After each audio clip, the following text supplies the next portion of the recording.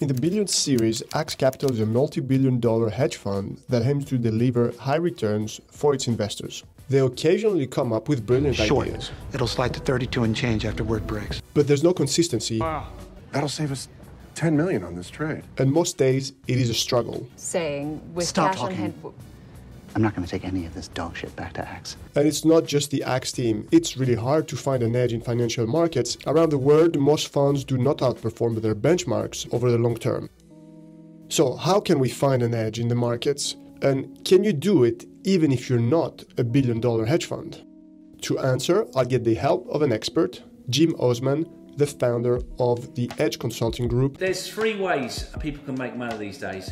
You're going to be faster, get the information quick, and you're going to execute on it. the high frequency and algorithmic approach to trading. We saw that Taylor tried to introduce it. Quant is another word for systemized ordered thinking. It didn't go down well. Quant is just another word for wild fucking guess with math. You're just not going to do that. Robots are going to be quicker than that. It's not in the DNA of Axe Capital. Second way to make money these days, know something that someone doesn't.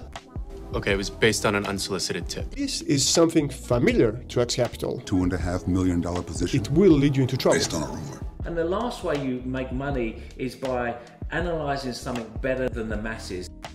Special situations, spin offs, activist ideas is the area where Jim operates. Any special situation that anything there is a catalyst within the stock that will move the stock. We discussed Vivendi and its spin off, Universal Music Group. We also spoke about Harley Davidson, who announced a new CEO unlocking a great amount of value. What we get is the anomaly or some sort of transformational change. We break our analysis in three ways. We look at the fundamentals, we look at the breakout values, we look at the transformational values, what they become down the line.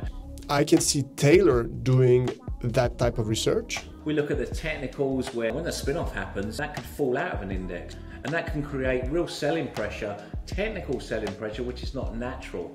And if it's not natural, then it provides opportunity. So we quantify that. And that's a great job for Ben Kim, who's detail oriented and focused. And there's the last piece in terms of analysis, as you adhere to, is the insiders. And that requires someone who's good at digging information But they know how to turn companies around. They know what P&L is. They know how to get the share price up. I am not uncertain. A great job for Dollar Bill, except this time it's legal and public information for a change. But reallocating resources may not be enough. You need data for a historical perspective. And we have a database of 20 years, of 30 years of looking at this. For example, it's not enough to spot insider buying. Some of these management are very good at buying their own stock, and some of them are not. You need to understand what motivates the purchase and the track record of the person doing it. Just like one information Scott Caswood's name is being floated as the new chairman. unlocks everything in Axe's mind in the first episode. But Jim and his team apply a systematic approach to it.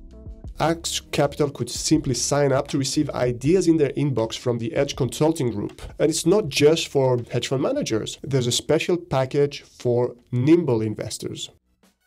Outsourcing the idea generation process may sound unusual in the investment management world. This can unlock a lot of value but requires a new mindset where you get actionable insights from experts who focus solely on special situations while you keep focusing on everything else. As usual, there's links with more information below. In particular, you can find out more about the Edge Consulting Group. Always remember, this is not investment advice. Seek education, diversify your portfolio and your people, manage your risk. Investing is for the long term. I see you next time.